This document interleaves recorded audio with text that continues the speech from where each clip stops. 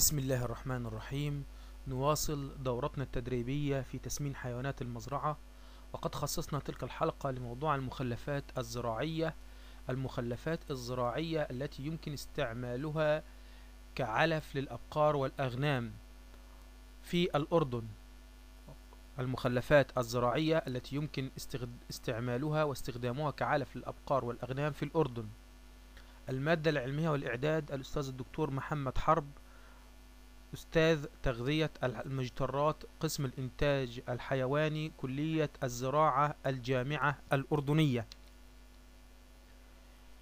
إن إمكانية إدخال المخلفات الزراعية في خلطات الحيوانات المجترة الأبقار والأغنام يتطلب تقييم هذه المخلفات من جهة قيمتها الغذائية ودراسة هذا المخلف والتخطيط لإدخاله بشكل سليم. يمكن تقسيم المخلفات إلى المخلفات الآتية من المحاصيل الملجننة الأتبان المخلفات الزراعية الصناعية المخلفات الحيوانية Animal Wastes. من الضروري عمل كشف بهذه المخلفات. الكشف التالي يبين مقدار هذه المخلفات في الأردن. والأردن في تلك الحلقة هي مثال للدول العربية ودول الشرق الأوسط. الكشف التالي يبين مقدار هذه المخلفات في الأردن التي يمكن استعمالها. الجدول رقم واحد كميتها في الأردن. تبن القمح من ستين ألف إلى خمسة وسبعين ألف تبن الشعير تبن بقوليات مخلفات حمضيات وخضار وغور. آه، فراشات سماد دواجن فرشة سماد الدواجن جفت زيتون أغصان وورق زيتون تفل بيرة تفل الخميرة أوراق أشجار الموز تفل البندورة أو الطماطم يطلق على الطماطم في الأردن البندورة. وهناك مخلفات الزيتون موجودة في شبه جزيرة سيناء في مصر. فوائد استخدام المخلفات الزراعية. قد تقلل من تكلفة العليقة مقارنة بالحبوب. التخلص من هذه المخلفات بطريقة مأمونة بيئيا. إذا فائدة استخدام المخلفات تقليل تكلفة التغذية والتخلص من المخلفات بشكل يحافظ على البيئة. الاعتبارات لتحقيق هذه الفوائد. هل المخلف مجدي من الناحية الاقتصادية؟ مدى استس- استساغة المخلف من قبل الحيوان؟ القيمة الغذائية للمخلف؟ هل يكمل التغذية على الأعلاف الخضراء؟ التكلفة المضافة لنقل هذه المخلف لنقل هذا المخلف إلى المزرعة تكلفة النقل. هل يحتاج هذا المخلف إلى أدوات خاصة أو مرافق خاصة للتخزين؟ هل يحتاج إلى أماكن خاصة لتخزينه؟ هل يمكن تخزين هذا المخلف؟ كم من الوقت يتطلب استهلاك هذا المخلف؟ هل هذا المخلف خال من الملوثات التي يمكن أن تكون ضارة؟ مدى توفر هذه المادة طول السنة؟ فصل من فصول السنة. الأدبان. الأدبان. ويتراوح إنتاجها في الأردن ما بين 150 ألف إلى 200 ألف طن. كمية البروتين المهضوم فيها منخفضة حيث تبلغ واحد وتسعة من عشرة في المية في تبن الشعير وواحد في المية في تبن القمح. البروتين المهضوم قليل للغاية. تقريبا 2% في تبن الشعير وواحد في المية في تبن القمح. الأدبان عسرة الهضم. المعادن فيها غير متزنة. المعادن فيها غير متزنة. الملامح الرئيسية. تعتبر الأدبان مهمة في تغذية المجترات في الأردن حيث أنها ضرورية. للعمل الميكانيكي الذي تؤدي في كرش المجترات. العمل الميكانيكي الذي تؤدي أو تؤديه في كرش المجترات. تعطي الشعور بالشبع نظرا لحجمها الكبير. لذا دائما نقول أن الأدبان تعطي الشعور بالشبع الميكانيكي يسمى الشبع الميكانيكي. تسيير عملية الهضم والإجترار طبيعيا وهذا مهم لصحة الكرش. تنتج بكميات كبيرة لدى تنتج بكميات كبيرة لدى المزارع كمخلفات زراعية ولا يمكن استعمالها إلا لتغذية المجترات. قيمتها العلفية تعتبر أخفض قيمة مقارنة بالدريس أو أي مادة مالئة أخرى. تستعمل للحيوانات في مرحلة الإنتاج أو في المرحلة الإنتاجية المنخفضة أو في مرحلة الجفاف ويجب إضافة مصدر بروتيني ومصدر ذو طاقة جيدة ومعادن وفيتامينات للخلطة. يعتبر تبن الشعير أفضل من تبن القمح وبعد ذلك تبن الأرز أو قش الأرز. تستعمل للفراشات تستعمل كفرشة في الحظائر عند الولادة. النواقص. لابد من فهم التبن. لابد من فهم التبن أولا لرفع مستواه التغذوي وذلك من خلال معالجته معالجة النواحي السلبية ويمكن تحسين نوعية الأدبان من خلال يمكن رفع قيمة القيمة الغذائية للأدبان عن طريق إضافات علفية. معاملة الأدبان. اختيار أدبان جيدة وراثيا. تحسين طرق تقديمها للحيوان تحسين طرق حفظ مناسبة لها. القش القش يتواجد في المناطق الريفية يستعمل كغذاء رئيسي للأغنام والماعز يستعمل في الغذاء كبقايا الحصاد أو قد يجمع ليتم تغذيته في الشتاء. الكمية المأكولة طواعية منخفضة. يمكن تحسين الكمية المأكولة بإضافة اليوريا والصودا الكاوية الهيدروكسيد الصوديوم والأمونيا وهيدروكسيد الأمونيوم.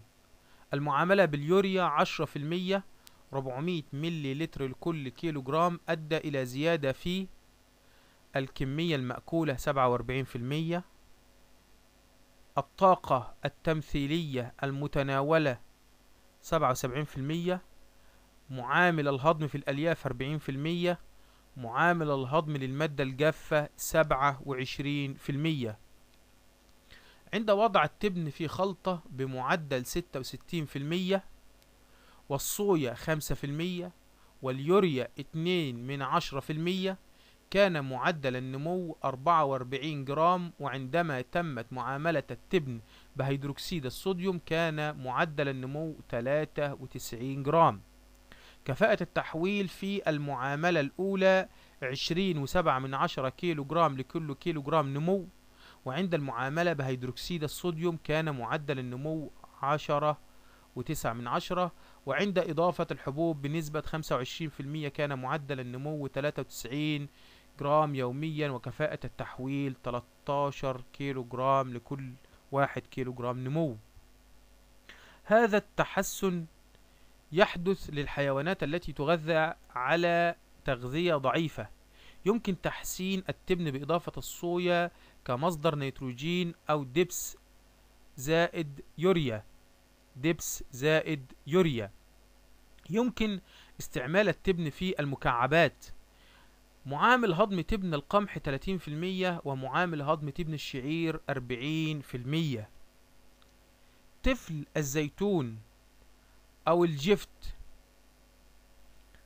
يستعمل كغذاء للمجترات الاستخلاص الميكانيكي يبقى نسبة عالية من الدهن من 9 إلى 11% على أساس المادة الجافة. من الصعب حفظه بهذه الحالة. الاستخلاص بالمذيبات يعطينا مادة يسهل حفظها. نسبة الرطوبة به من 80 ل 90% إذا إذا بقيت النوى القيمة العلفية منخفضة. إذا أزيلت النوى القيمة الهضمية تصبح أعلى. معامل هضم المادة الجافة في طفل الزيتون من 30 ل 60% معامل هضم الدهن من 65 ل 90% معامل هضم البروتين 7% منخفض جدا جدا. اذا إذا استع... إذا استعمل في الخلطات يفضل إضافة مصدر بروتيني لأن ذلك يحسن معامل هضم الجفت اللي هو تفل الزيتون. يفضل سيلجته لأنه لأنها تقلل من التزنخ وتقلل من الفقد. سيلجته لارتفاع نسبة الرطوبة كما قلنا من قبل من 80 ل 90% ممكن سيلجتي وتحسين قيمته الغذائية بإضافة زرق الدواجن والنخالة وحبوب الذرة لتقليل نسبة الرطوبة في المادة الكلية. يقدم السيلاج مع المركز وهذا ما يجعله ما يجعل الاستساغة جيدة.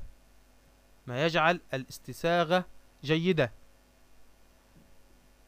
يحتوي السيلاج المضاف إليه زرق الدواجن يحتوي السلاج المضاف إليه زرق الدواجن من خمسة وأربعة من عشرة تمانية من عشرة ميجا جول لكل كيلو جرام مادة جافة نسبة الطاقة أو كمية الطاقة.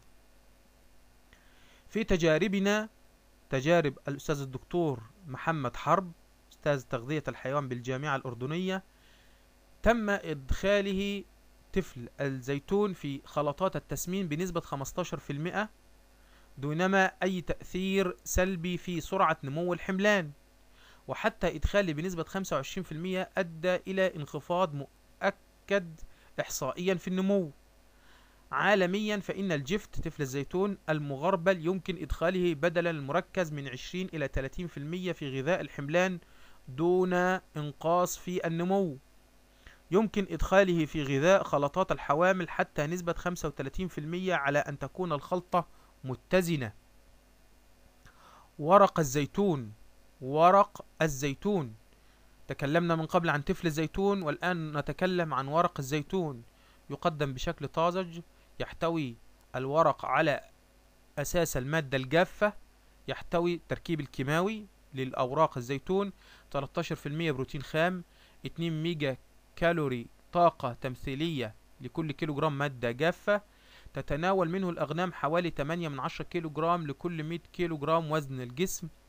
عندما يجف الورق فإنه يحتوي على 10 وستة من عشرة في المية بروتين خام وواحد وستة من عشرة ميجا كالوري أي عند جفاف الورق تقل نسبة البروتين الخام ونسبة الطاقة الممثلة. الأغصان تمانية وتسعة من عشرة في المية بروتين خام وواحد وثلاثة من عشرة ميجا كالوري لكل طاقة تمثيلية لكل آه، كيلو جرام مادة جافة. إذا أوراق الزيتون بها بروتين وطاقة أعلى من الأغصان. ورق الموز وساقه. أوراق الموز وساقه أي شجر الموز تشكل 80% من النبات. أوراق الموز تشكل 80% من النبات. يجب أن يضاف إليه مصدر أزوتي مصدر البروتين. تكون في الغالب التركيب الكيماوي الأوراق من خمسة إلى تسعة في المية تقريبا مادة جافة من تلاتة إلى تلاتة ونصف بروتين خام للمادة الجافة. معامل هضم الورق خمسة وستين في المية معامل هضم الساق خمسة وسبعين في المية. في تجارب الأستاذ الدكتور محمد حرب أستاذ تغذية المجترات في الجامعة الأردنية وجد أن ورق الموز وساقه يمكن إطعامه للأغنام بمعدل 300 إلى 400 جرام يوميا للرأس الواحدة. إن, معد... إن معاملة ورق الموز بالقلويات وإضافة اليوريا إليه يحسن معامل هضم الألياف. إن التوازن النيتروجيني يكون سلبيا حين إطعام ورق الموز لوحده. استعمال 20% من الخلطة لأوراق الموز لم يؤثر سلبيا على إنتاج الحليب أو تركيبه أو نمو الحملان حتى الفطام. ونشكركم على حسن استماعكم إلى أن نلقاكم على خير في الحلقات القادمة. بأمر الله تعالى محدثكم محمود سلامة الهيشة.